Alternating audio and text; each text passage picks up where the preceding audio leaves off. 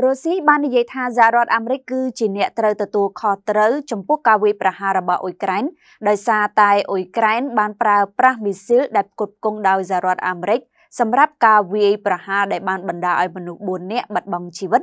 និងជាង150នាក់ផ្សេងទៀតរងរបួសនេះគឺយោងទៅតាមការចុះផ្សាយដោយទីភ្នាក់ងារសារព័ត៌មាន Reuters នៅថ្ងៃច័ន្ទទី24ខែមិថុនាឆ្នាំ2024 រុស្ស៊ីបាននិយាយនៅថ្ងៃអាទិត្យចុងសប្តាហ៍កន្លងទៅថាសហរដ្ឋអាមេរិកគឺជាអ្នកទទួលខុសត្រូវចំពោះការវាយប្រហាររបស់អ៊ុយក្រែនលើតំបន់គ្រីមៀដោយសារតែអ៊ុយក្រែនបានប្រើប្រាស់មីស៊ីល5គ្រាប់ផ្គត់ផ្គង់ពីអាមេរិកសម្រាប់ការវាយប្រហារនោះនេះបើយោងតាមការចេញផ្សាយដោយទីភ្នាក់ងារសារព័ត៌មាន Reuters នៅថ្ងៃច័ន្ទទី24ខែមិថុនាឆ្នាំ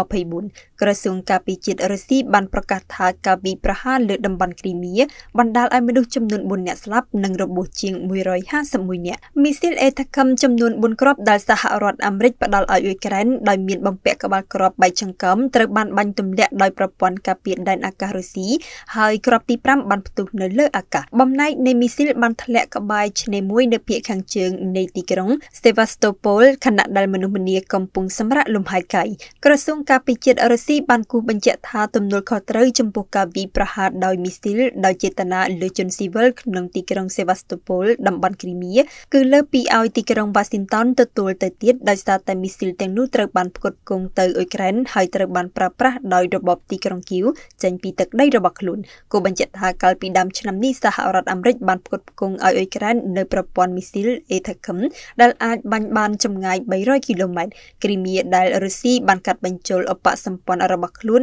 កាលពីឆ្នាំ2014បុរីមេកុងឡែន ផ្ដល់ជូនកាដូដ៏ច្រើនសន្ធឹកសន្ធាប់ជាមួយប្រូម៉ូសិនដ៏សម្បើមក្នុងឱកាស Mid Year Celebration